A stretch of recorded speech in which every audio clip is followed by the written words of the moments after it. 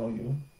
We thank you because you are the Lord that controls the heaven, the earth, and the sea, and everything that lives in it.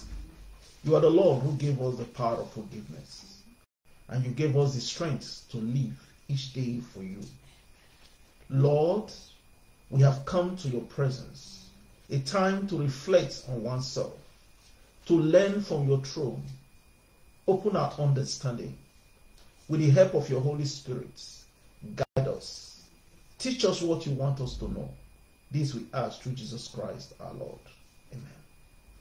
Brethren, today you are welcome to this open fellowship. Today we use opportunity to train the trainer. Our topic for today is the power of forgiveness. The power of forgiveness. You know, sometime in life we need to understand that as believer we need to forgive those who trespass against us so that our trespasses can also be forgiven. There is no man that lives on earth that is perfect, that since he was born he have never sinned. The Bible said if we say we have no sin, we are a liar, and the truth is not in us. And because all have sinned, and we have fallen short of God's glory, and that's why God commended His love towards us. While we were yet sinner, Christ died for us. And this death was to reconcile us back to God. Not because we love God, but because He loved us. John 3.16 says, For God so loved the world.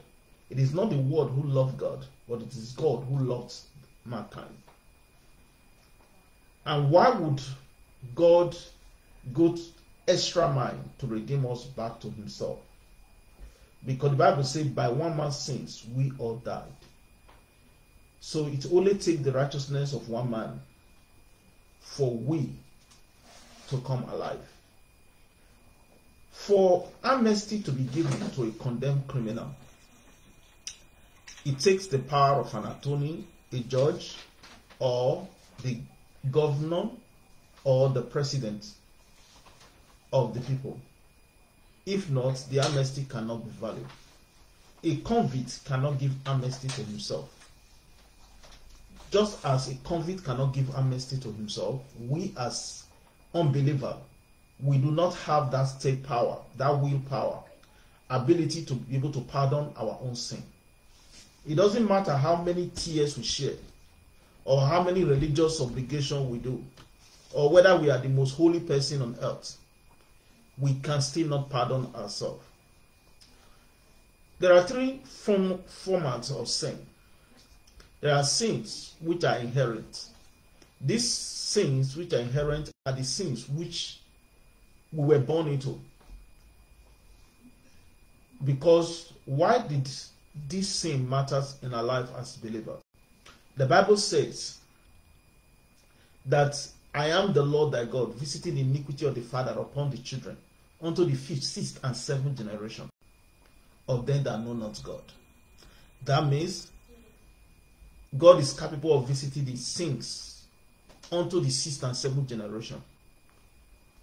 That means the sins of our forefather can affect our lives as unbeliever. But if you go further in that verse, he said, I show mercy to thousands of them that love me. That means he is capable of showing mercy. Despite he visits the iniquity of the father upon the children, but is capable of showing mercy. So why should we therefore need mercy? Some of us will say, well, I'm just a child. Since I was born, I have never sinned. And there is no record of iniquity in my life.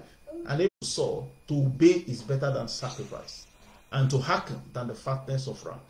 Because what would the Lord rather require of us? To hearken unto his voice. The Lord is not interested in sacrificing. Would what God have preferred for man?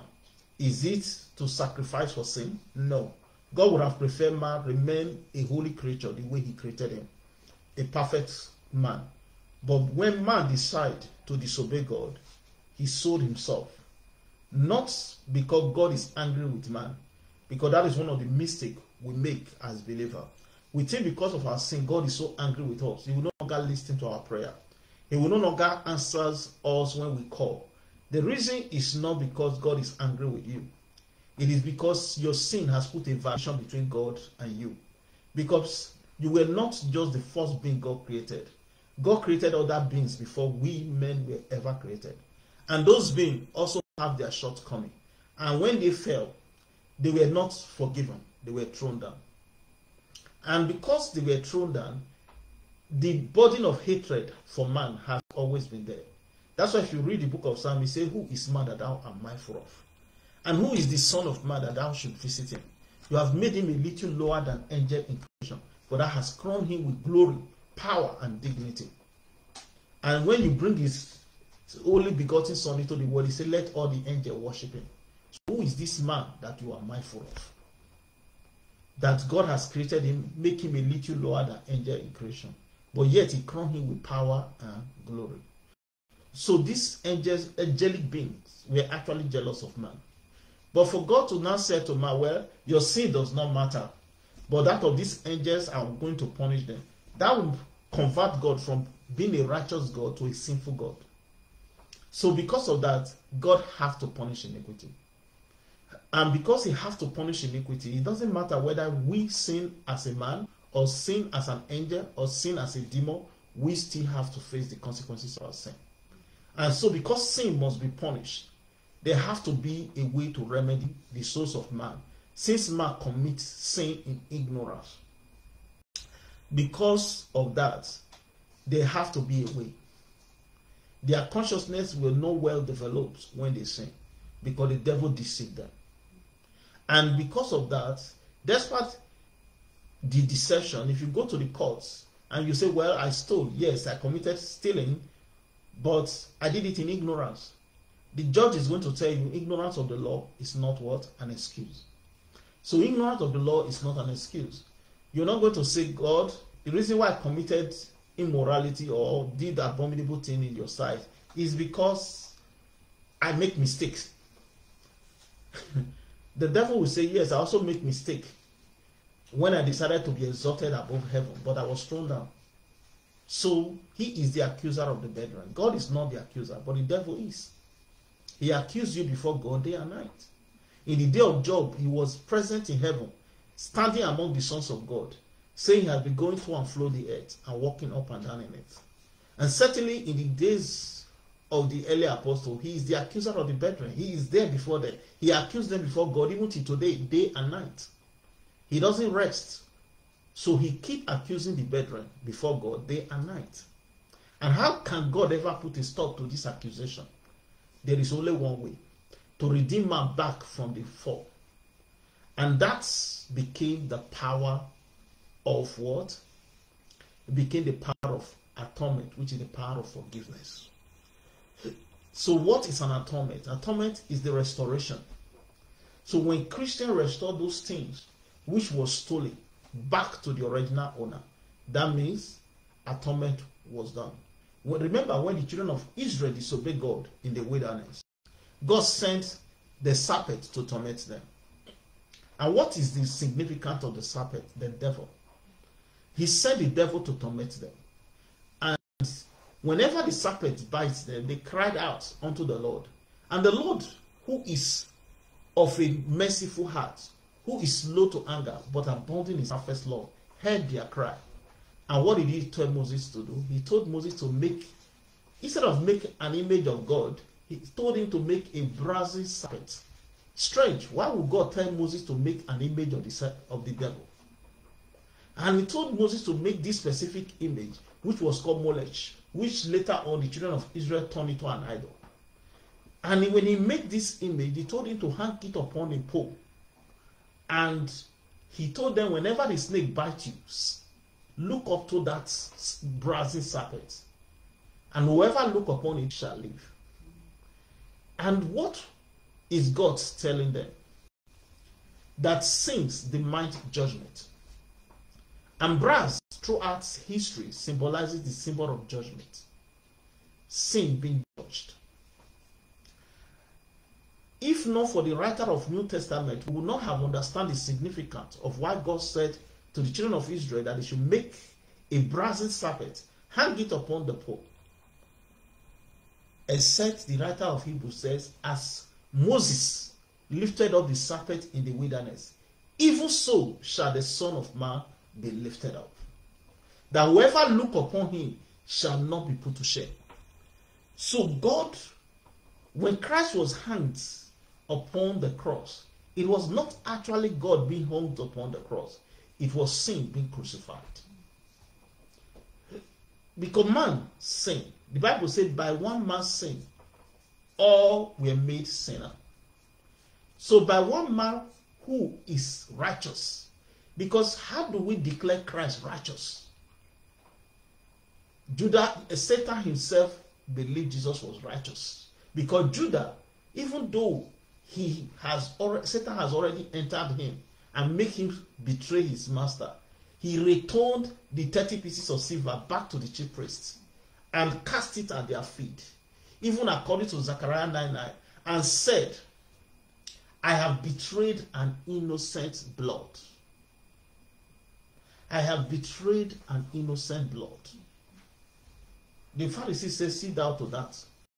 They did not listen to them, to him, because Satan has also entered into their hearts. But Judah understood, despite being in the state of sin, despite being under the control of Satan, he knew that the person he betrayed was an innocent blood. That means by Satan's own conviction, he declared Christ innocent.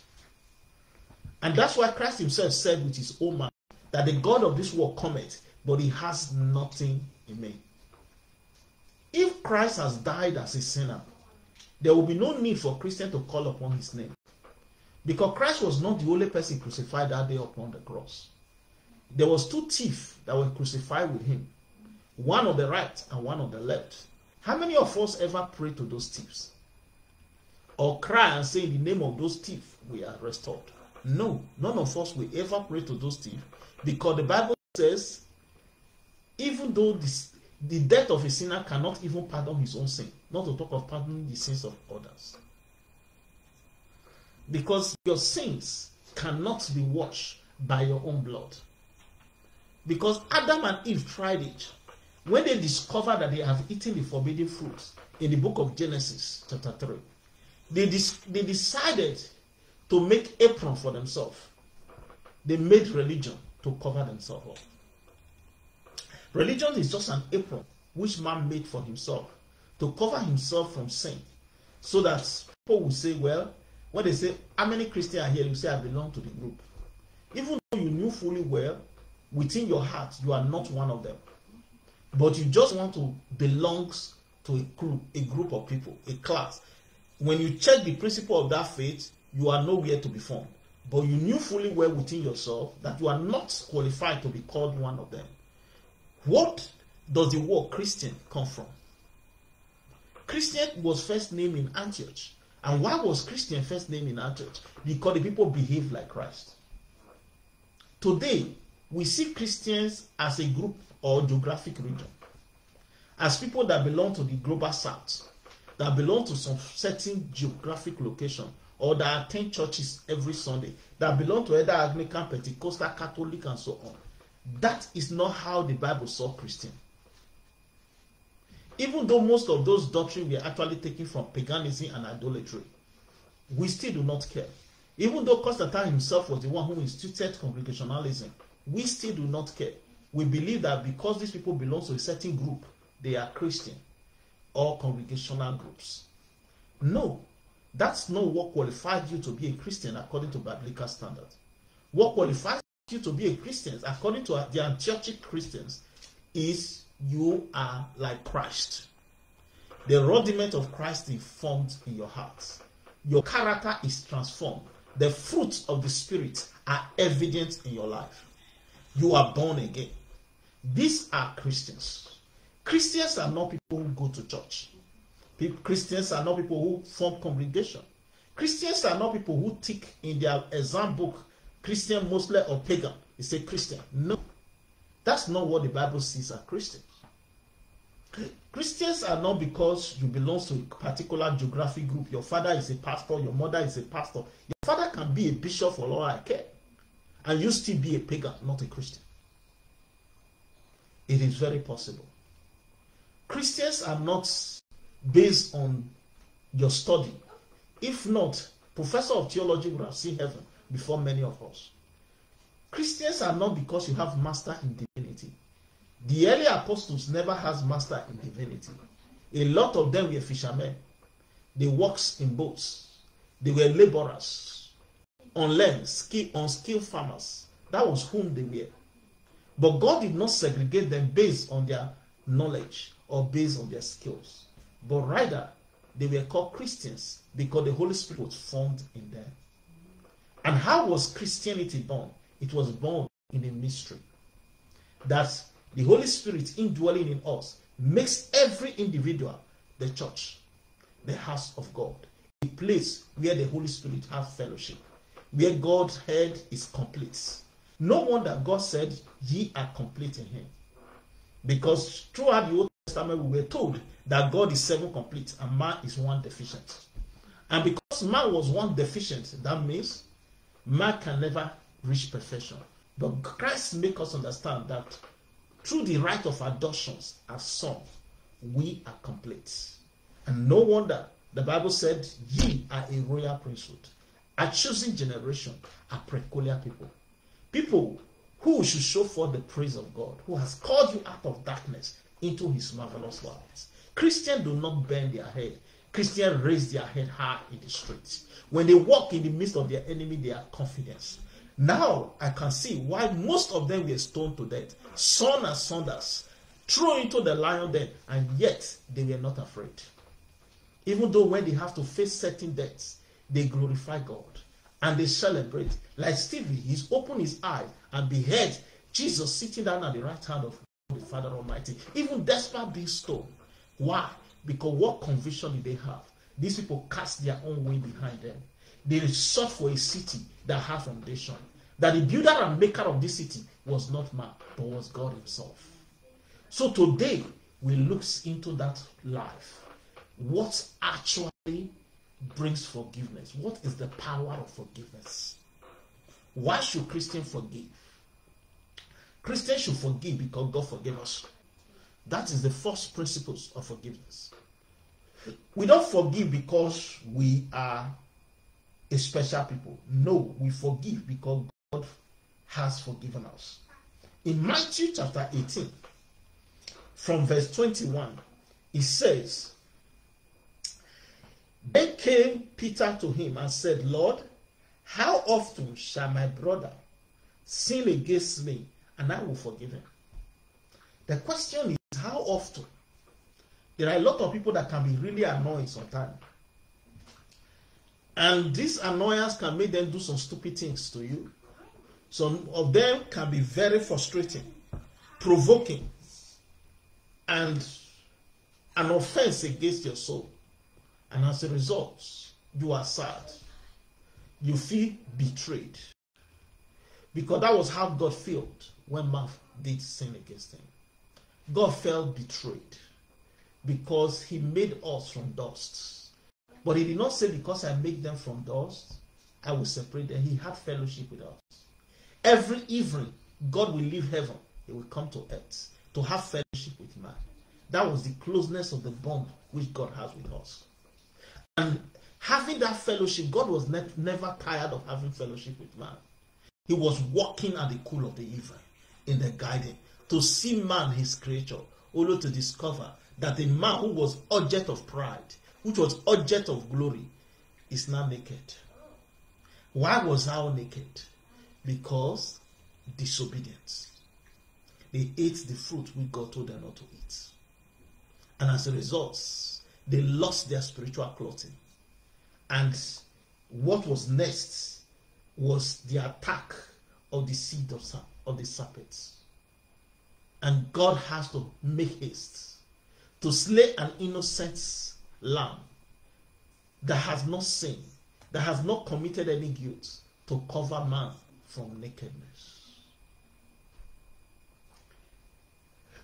God forgave man in the garden. How come he still laid a foundational curse upon serpents and upon the woman, which he multiplied his pain in delivery? Because the Bible says God is a merciful God who forgives iniquity. And he declared himself to Moses when he revealed himself as the I am. And he said, He by no means cleared the guilty. God is going to forgive sins. Even if you kill, God is capable of forgiving, even murder. But it doesn't stop you from going to jail. It doesn't stop you from suffering the terms prison. No. Yes, you are forgiven. Yes, you are forgiven. But you still have to face the consequences because every offense you do on earth hurts somebody. And because it hurts people, you still have to pay the penalty of those people. That's why in Christianity, we believe in restitution. For example, yes, I went to some, my friend's house. I saw a beautiful TV and I stole it and I put it in my house. Every day I wash it.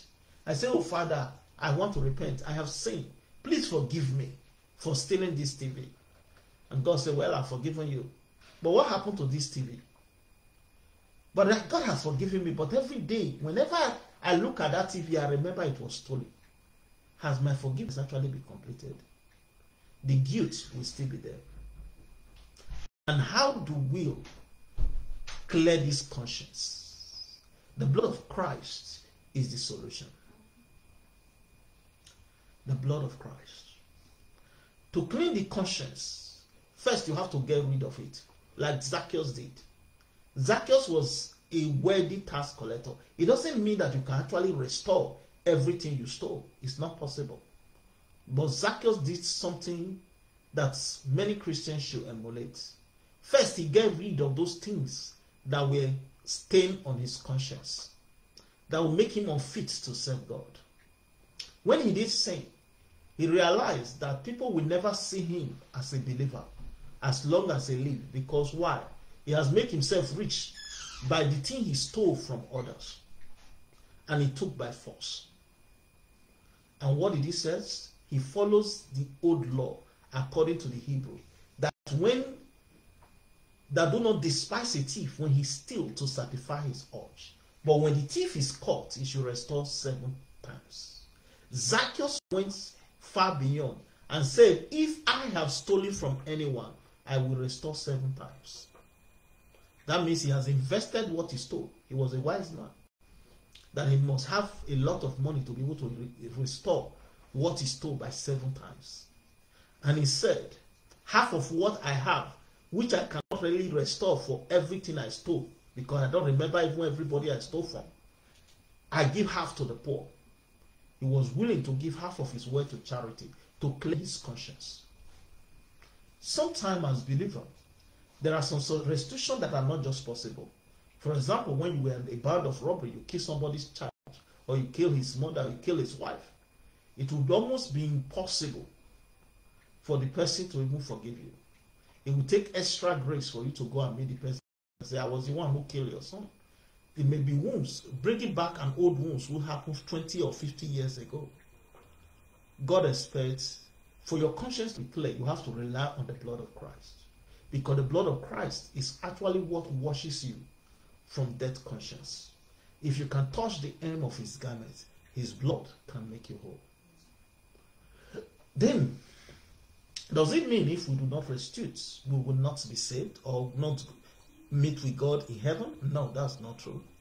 Restitution is not the key to your salvation. It's only an act of salvation. It's act of genuine repentance.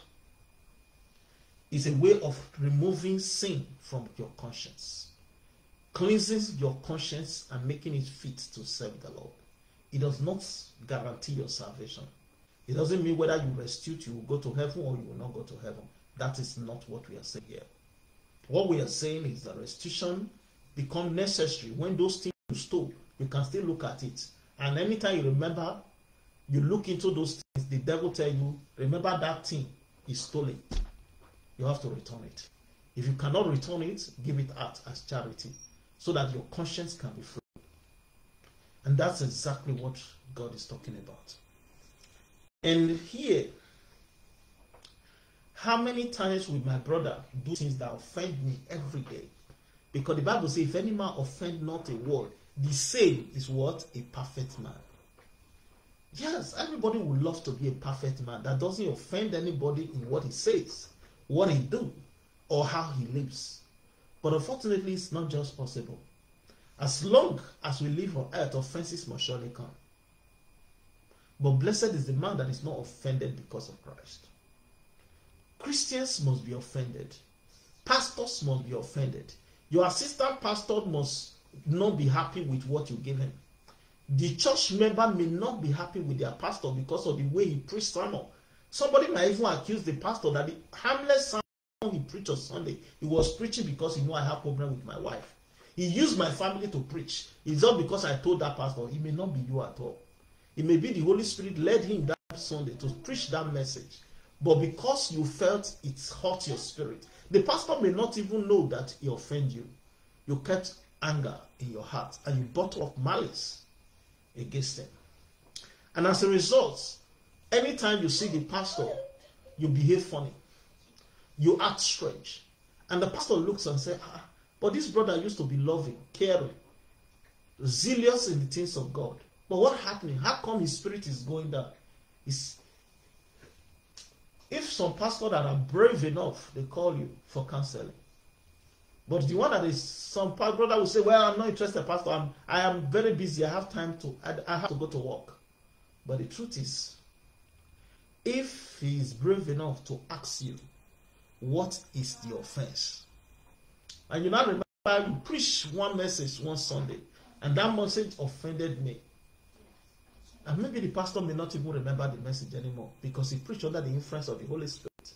And that message has been erased from his brain. But it was not erased from the man who heard it.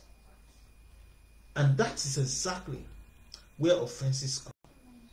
So, how many times will such offense come in a day? And how we forgive? Is it seven times? No. It's not seven times but 70 times 7 is 70 times 7 in a day. That means 490 times in every day.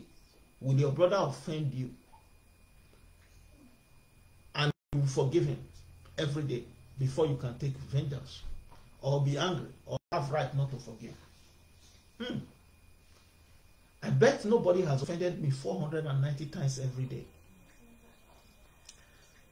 So there are some people that will say this sin is beyond forgiveness. I caught my wife with another man. I remember a brother once said something to me. Out of all sins in the Bible, this was the only sin God gave man right to defend himself. That if your wife is caught on the act of adultery, the Lord said, a woman was caught in the very act of adultery. He was brought before Christ and the laws of the land suggest that that woman should be stoned to death. That is the law of Moses. That's what Moses commanded. Did Christ argue against the laws of Moses? No, he did not. He only sits down and wrote on the ground, waiting for them to make their decision. And the Bible, if I could recognize what he was writing, I believe he was busy writing their sin on the ground. And Christ believed that all sins are sin. Whether adultery, fornication, lie, stealing, whatever you call it, is a sin. But none, the Pharisees did not see it that way. They saw some sin as more grievous than the other. For example, when a woman was caught in the act of adultery, the woman should be stoned to death. But the Bible did not say according to the laws of the Pharisees, if a man is caught on the act of adultery, what should happen to the man? Should the man be stoned to death? No law was ever written of such. Only the woman was to be blamed because in the ancient time, women were vulnerated. But Christ said, No, there is no justice in your law. But what should happen is any one of you who there is no sin in his life at all should be the first one to cast a stone. And the Bible said, each of them reflect on their own sin. Christ did not stop them from stoning the woman, but he only asked them if you know that since you were born, no sin was ever found in your hand. be the first one to throw a stone. Because today we have a lot of people. People put moral equivalent to others. They make themselves feel more important. Some even begin to justify their sin. They say, Well, my sin is not as big as his own. Well, his own sin is bigger than my own. If God's standard of judgment is because your sin is smaller than that of another, Satan will be in heaven before most of us. Because Satan's sin was only to think in his heart. He has not even committed it. So today we call him the devil, the old ancient serpent. But what about us? Some of us, we don't even take it, we commit it. And we did all sort of abominable things. Yet we go on our knees and say, Father, forgive us, and God forgive us. But what about us? Our brother commits sin against us. Do we forgive our brother?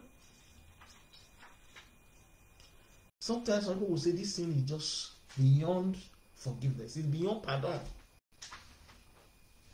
How can I pardon somebody that did this to me?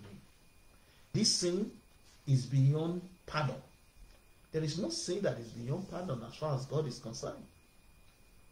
The worst sin in the scriptures is the sin of witchcraft. Because the Bible says, suffer not the witch to live. But God said disobedience is as the sin of witchcraft. And that was the sin man committed. That means we are not supposed to be alive. Because if disobedience is as witchcraft, our forefather committed witchcraft before God by actively disobeying to God, eating the fruit he commanded them not to eat. But do you know what God did?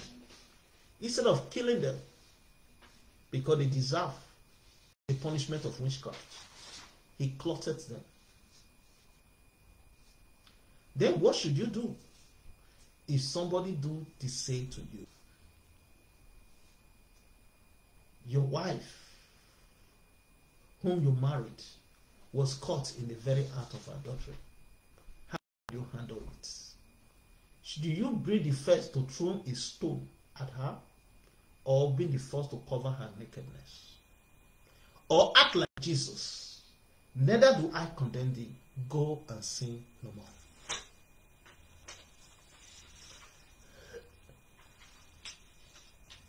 Wow. Forgiveness, remember, is not a ticket to trust. While forgiveness might be mandatory for every believer, but trust has to be earned. The fact that you have forgiven people their sin does not mean the trust has to come automatic. No. The trust has to grow with time. The people have opportunity to redeem themselves by proving to you once again that they can be trusted. That's where many Christians fails. Oh, he forgive me, but how sure am I that he really forgive me if he did not restore me back to my position? No, the Bible did not say we forgive you, we should give you back the office of a pastor or of a bishop or of a deacon. No. When we forgive you, the Bible suggests you should be learning the principle again the rudiment of salvation so that when you stand to that limit you will be worth that position. That's what the bible expected from us. Christians don't just forgive and say well we caught a deacon committing immorality with another man's wife. And as a result where god said we should forgive we have forgiven him. You can still remain as deacon no. Even god will be angry with you. Because he has failed the rudiments that qualify him to be a deacon in the first place. What God required of you is to separate that man from the brethren. Give him opportunity to deal with his own flesh, not to hide himself from his own flesh. And when the disciplinary process of him showed real remorse for his sins and has come back to understand the consequences of his sin, he can be returned to his position but not immediately. Because if you leave him in that position, he's going to destroy himself. And by trying to cover his acts, he will lack the authority to judge others. Because if you shall judge the angels, ought you not to judge the least among you? Now, let's go back to the scripture where we were reading. And it make us understand in that particular place.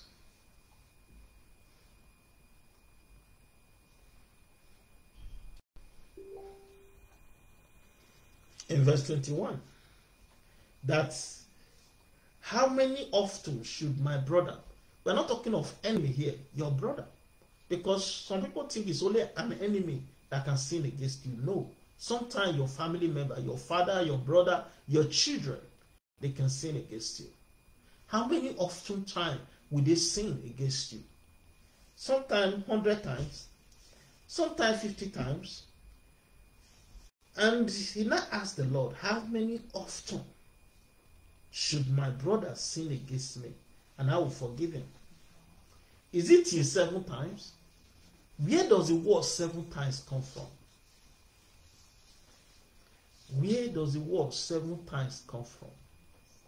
But Jesus replied and said to him, Not unto thee, I say not unto thee until seven times, but until seventy times seven. Remember, seven times came from the Bible, the Hebrews word. Seven times.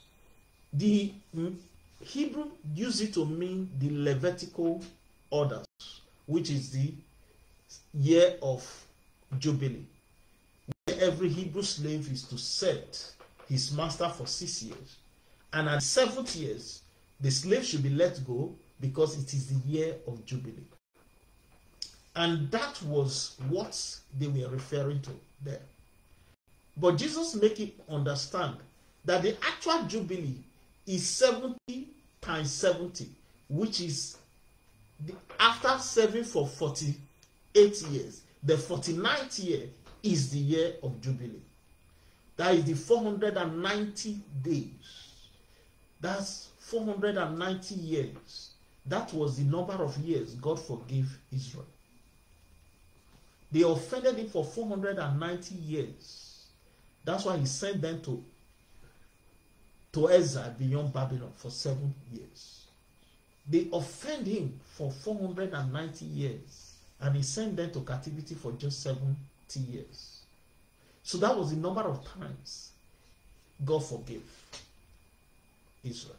So it was not just figuratively, but it was prophetically.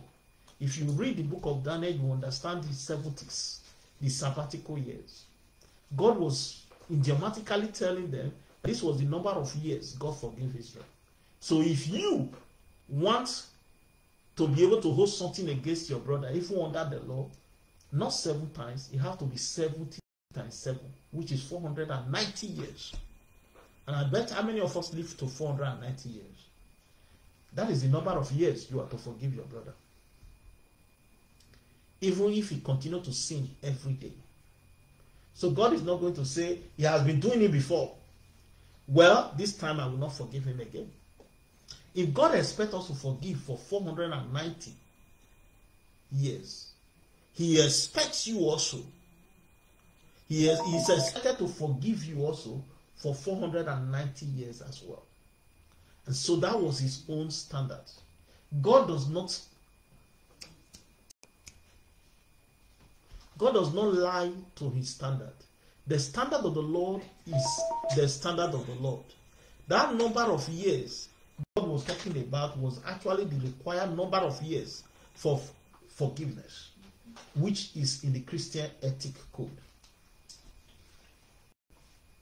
And Christians should learn to understand that forgiveness is not something that in Christianity is probability. It's a must. If you must be saved, if you must be saved, if you must be saved, you must forgive others. Because if you do not forgive others their sin, God Himself will not forgive you your own sin. Because the measure you measure to others, that is the same measure the Lord will also measure to you.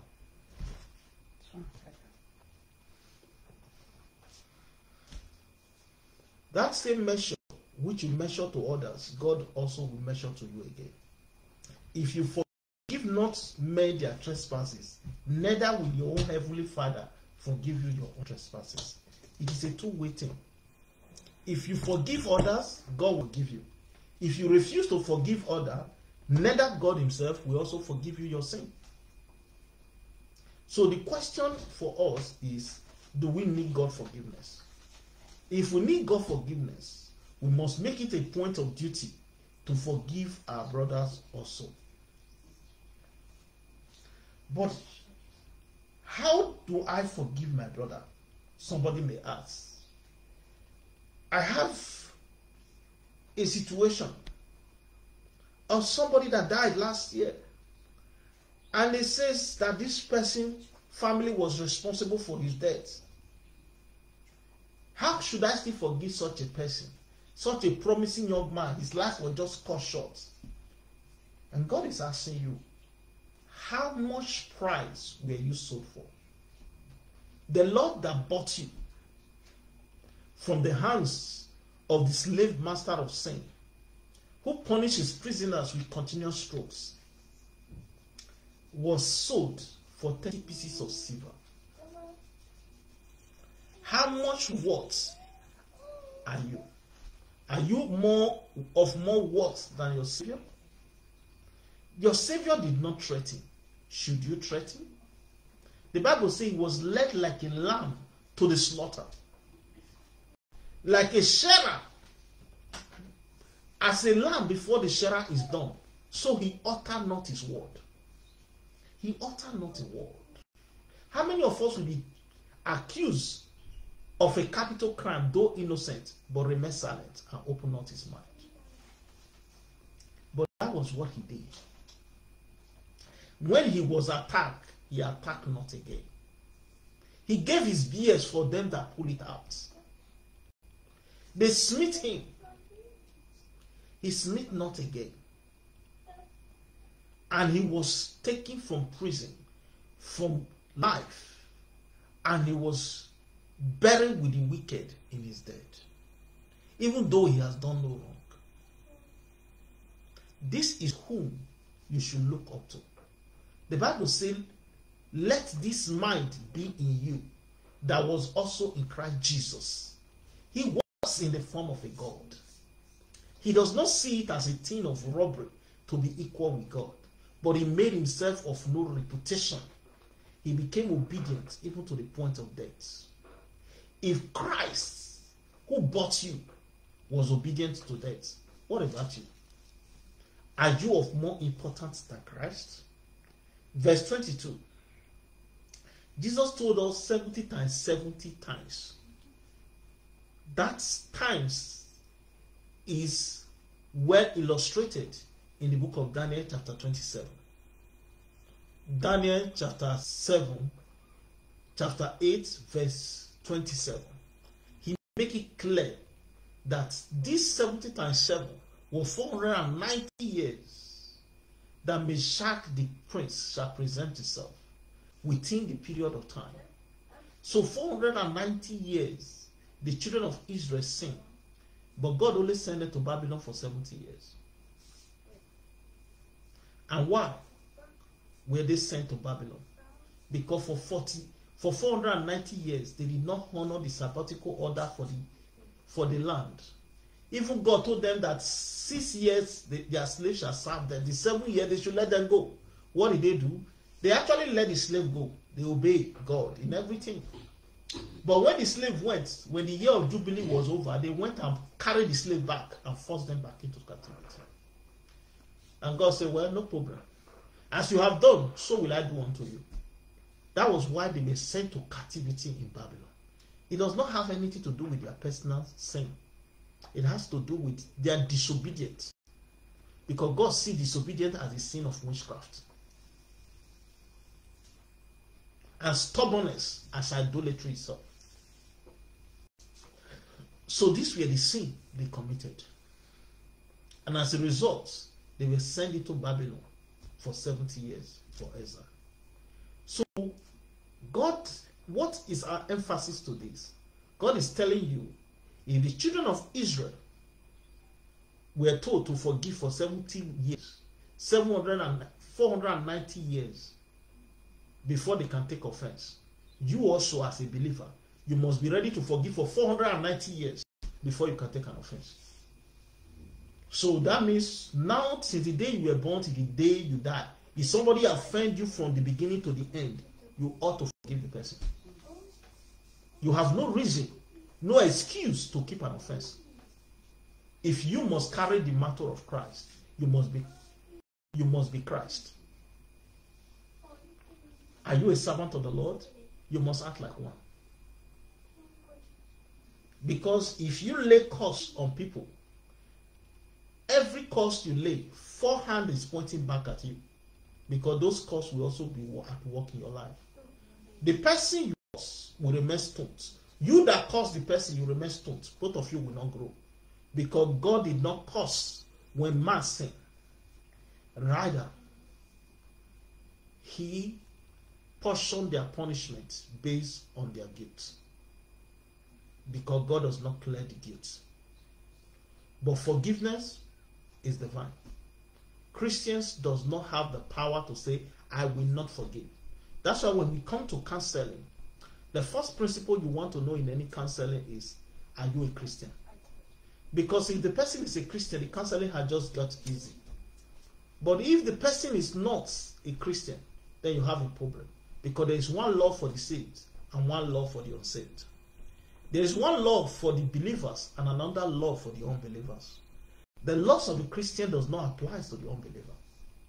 So don't expect the unbeliever to come to your church on Sunday and respect your sabbatical law or your Judaism law or whatever your Christian law. No.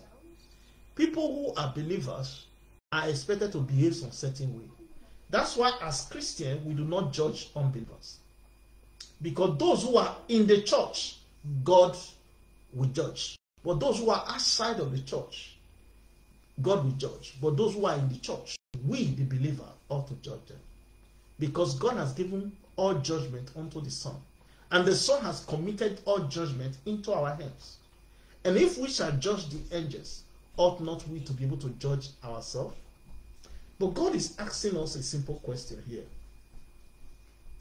In verse 23, therefore the kingdom of heaven is likened unto a certain king, which would have taken a who who would take account of his servant, and when he has begun to reckon, one brought unto him which owe him ten thousand talents.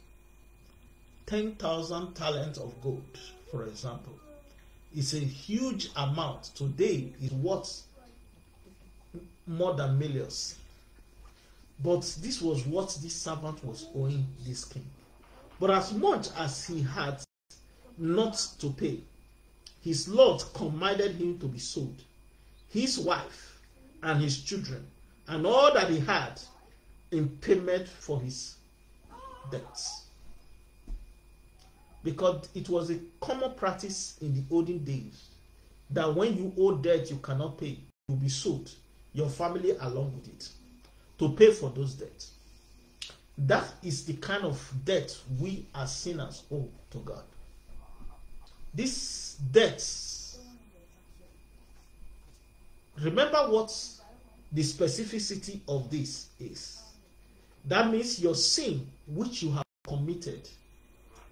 What should be sold? Is it only you? No. Because of your sin, you should suffer for it. The wife you marry into that family will inherit those sins which your great grandfather and your grand grandmother committed. They will all inherit the sin. You see the power of forgiveness? They will inherit the sin. And your children born unto you will also inherit the sin. Because God said, I am the Lord visiting the iniquity of the father upon the children unto the fifth, sixth, and seventh generation. But, and all that he had for payment. But how can I ever be free from such a great bondage of sin? But the servant therefore fell down and worshipped him, saying, Lord, have patience with me, and I will pay thee all. And then the Lord of that servant was moved with compassion. Compassion. breaking ancestral tie has nothing to do with power, has nothing to do with spiritual work. It has to do with God's compassion, the power of forgiveness, understanding the rudiments of forgiveness. That is the key. The Bible says it was written of old that the parent ate the unripe grape and the mouth of the children were made sour. But the Bible says not anymore.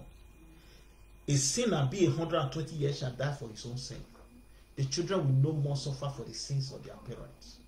That is the key. Where does that come from? Forgiveness. Forgiveness has power beyond human imagination, ability to forgive. God is saying, I will no longer punish the iniquity of the father upon the children. I will no longer punish the sins of the children upon their parents. I will no longer punish the wife for the sins of her husband. But in the case of Adam and Eve, it was not so. In the case of throughout the Bible history, Achan sin, the wife did not sin, the children did not sin, but they were all stoned to death. Because their sin were visited upon all the generation, all the family. There is no history of Achan and his generation. The root of sin was cut off. And that is exactly one thing that God has repaired in our lives, telling us that He will no longer visit iniquity upon the children because of His ability to forgive. But does Satan care? No. What of the ignorance? An ignorant man will die an ignorance death. So many people still remain under that same bondage, despite that God has cancelled it from the beginning. Do you know why?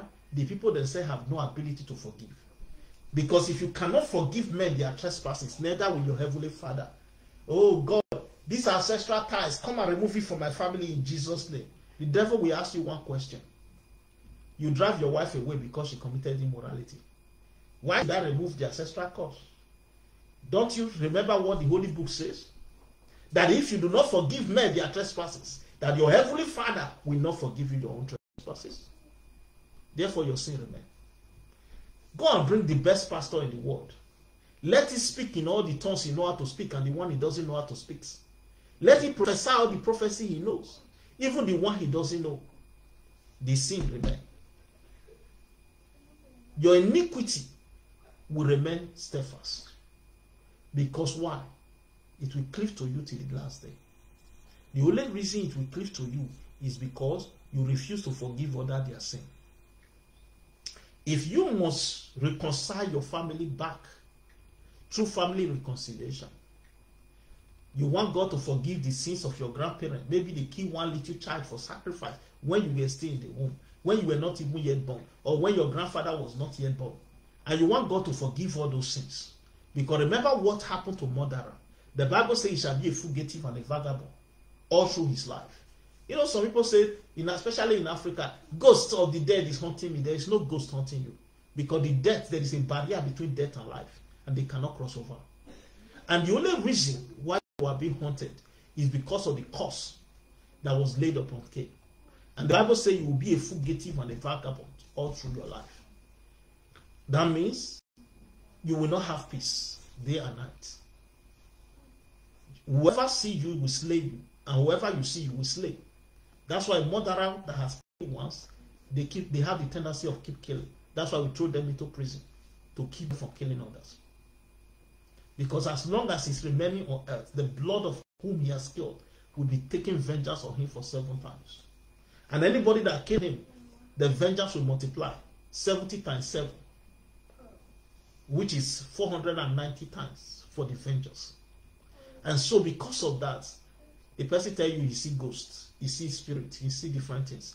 That is exactly the cause that are manifesting. And they manifest in different ways. And as a result, God is telling you the only key to it is forgiveness.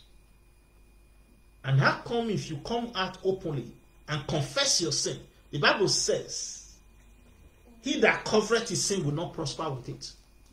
But how come if you come out You say you see ghosts. What happened to the ghosts? How did they disappear when you confess with your mouth?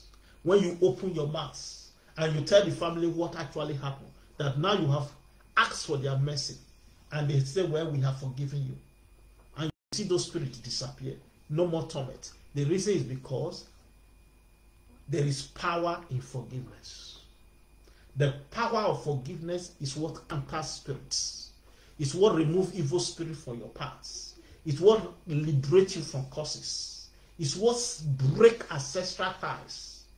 It what scatter demonic ties. Forgiveness. Because the greatest weapon against the devil is the weapon of love. And love cannot be complete without forgiveness. Because the Bible says, Love, keep no record of wrong. If you are a believer who keep no record of love, of wrong, the devil is already defeated in your life. Forgiveness should be paramount in your in you. And God will make himself known in your life. And what did he say? He says, the Lord of this servant, he was moved with compassion. Why was he moved with compassion?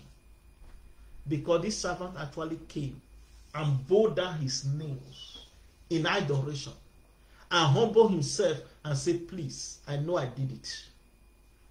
You were looking for the man that stole from your farm. It is me. Please forgive me. It's better than hide. Oh, you were angry with me yesterday because somebody spoke rudely to you. Sorry, it was my fault. I don't want to give excuse for it. I am sorry. It will stop the person. It is better to say sorry than to go to hell. It's better to say sorry than to take revenge, than to look for another way to make sure you kill to cover your sin. Cain killed his brother. Instead of confess, what did he do? He covered him in the earth. And what happened? Did he solve his problem? No. The blood cried out from the earth to God. Even if you cover your sin in the earth, the blood will cry out for vengeance. The animal will dig up the grave. The beast of the forest will wake up the spirit. And they will haunt your soul. And they will keep haunting you until the day you die. Until you open your mouth wide. What did jesus say? What i told you in secret say it on the rooftop. Offenses must come as long as you live on the earth. The man who have the boldness to confess is the mighty man don't be too high in your office to confess your sin some people will say well I am a pastor. How can I open my mouth and confess that I committed immorality? The church will be scattered. The abominations will be too much for the people to bear. Hmm. To obey is better than sacrifice, we know it. To hearken is better than the fatness of ram. If you know the abomination will be beer, why did you commit it? Now you have fallen into it, what do you do? You have to free yourself from the elemental forces from the bondage of decay, from the demon who is hoping to put your blood into a covenant, and from all the forces of wickedness who are trying to do harm to your blood. This is opportunity for you to free yourself from those bondage. It can only be free by simply repenting. Confess your sin one to another so that your iniquity can be blotted out so that your sin can. The Bible says, though your sin be as red as a scarlet, no sin is easy to hear. That's why evil people do everything in secret because they don't want anybody to hear about what they commit in secret places. Because it is an abomination to speak of what they do in the hidden place. And that's why they cover it with every covering. But the Bible says, whatever is manifested is come to the light. God is light are children of light. Let nothing be hidden in you. Don't live a life of secrecy. Live a life open to God's mercy, open to His grace, open to His humility. As a believer, if you want to prosper, confess your sin. Open up. Speak out about your sin. Ask God for mercy. And your iniquity can be forgiven. It doesn't matter how dirty your sin is. The journey of a thousand footsteps starts with a footstep. The journey of a thousand miles starts with just a footstep. Take a step, and that step is open your mouth wide. Say it. Ask for mercy. Be remorse for your sin. And that's all. God will take it over from there. Even if the person decide to kill you rather than to forgive you, you have cleared your conscience. It is better you die than to live in guilt. The Lord is full of mercy. He is of a surer love to forgive iniquity. Do you know what he said to Moses? Moses was not a perfect man, but the Bible said he was the most meek among God's creatures. But Moses killed. That means the sin of Cain is supposed to follow Moses several times. Because Moses killed an Egyptian. And if that Egyptian has killed before, that means the sins of the death of the Egyptian will be avenged upon Moses how many times? 70 times 7. 490 times. Moses would be a fugitive and a vagabond all through his life. But you know what? His power of mercy. He met with the Lord. He humbled himself. He defended the people of God. And as a result, mercy was shown to him. His iniquity was blotted out. So learn as a believer why the consequences of sin is death, but the mercies of God give eternal life. Christians should understand forgiveness bring life, why sin bring death. There is no sanctification without forgiveness. There is no purification without forgiveness. There is no redemption without forgiveness. Every atom of salvation starts from forgiveness. If you forgive men their trespasses, your heavenly Father will forgive you your trespasses. It doesn't matter how well you can fast. It doesn't matter how well you can pray. If you do not forgive other people their sin, don't expect your own to be forgiven. Because God only forgives those who forgive others. Let us pray. Father, we heard your word. Your word came from you. You speak the way you want us to hear it. And you teach us the way you want us to learn it. Lord, help us to forgive. Oh Lord, help us to forgive others their sin. So that the same way you forgive us our sin. Because if we do not forgive others their sins, you will not forgive us our own sin. Lord, we have come to you. We say, forgive us our trespasses as we have forgiven those who trespass against us. Don't lead us into the temptation of the devil, but deliver us from the power of the evil ones. This we ask through Jesus Christ our Lord. Amen. Pedro, we'll see you again tomorrow by this same time.